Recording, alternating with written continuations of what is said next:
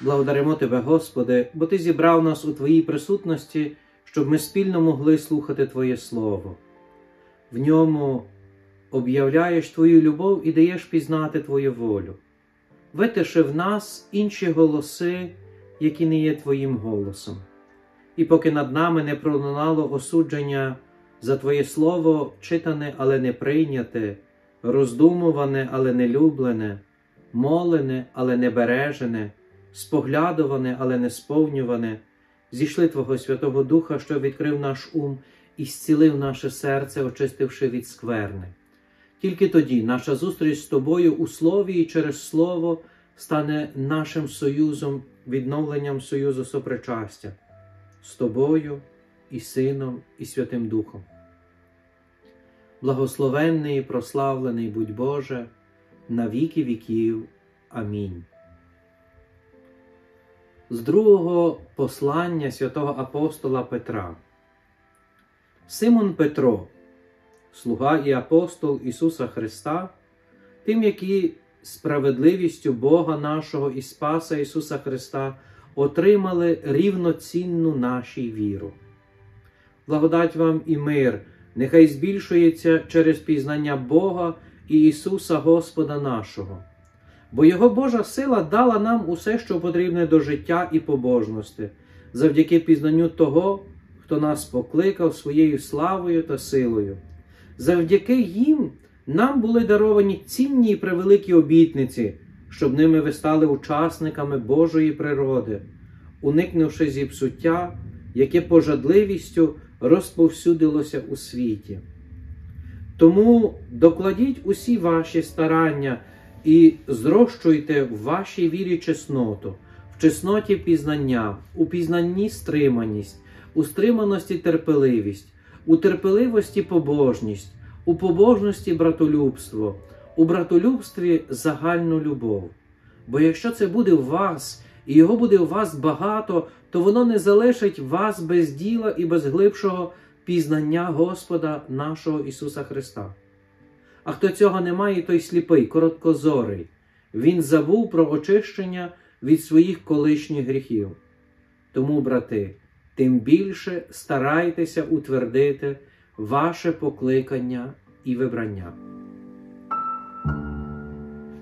У сьогоднішньому уривку, коли слухаємо слів апостола Петра, разом з церквою розпочинаємо читати другий лист, друге послання, яке пише апостол Петро, звертаємо відразу увагу на слова, якими завершується сьогоднішня перекопа.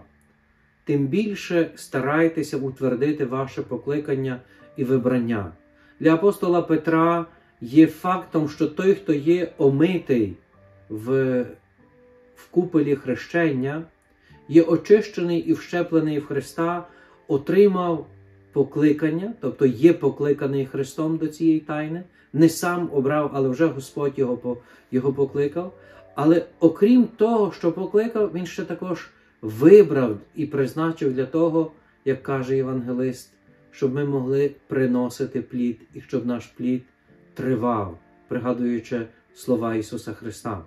Для апостола Петра сьогодні неначе стоїть питання перед нами, яке нас запитує, чи ми часом не є в нашому щоденному житті короткозорими, тобто, чи не перестали пізнавати Христа, чи Він для нас ще далі, так як і на початку, є нашим зацікавленням, є той, хто хто нас е, е, захоплює, той, той, у кого ми можемо ще вчитися.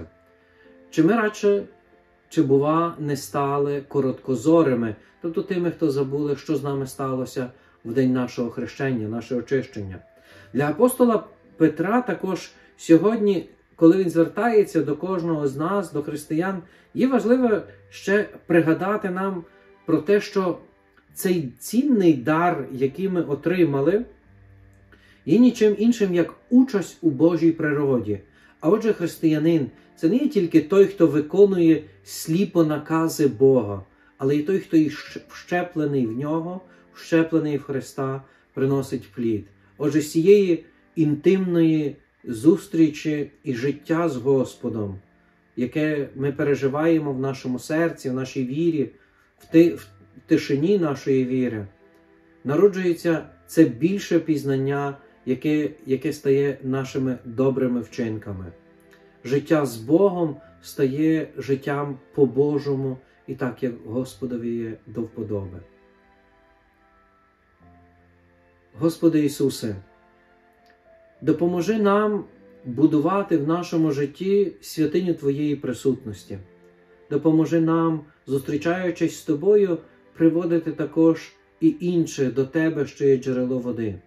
Не дай нам ніколи захоплюватися нашими вчинками і ними гордитися, але допоможи в усьому побачити Тебе, що даєш і від Тебе, бо походить кожний дар, а Ти даєш нам натхнення їх виконувати.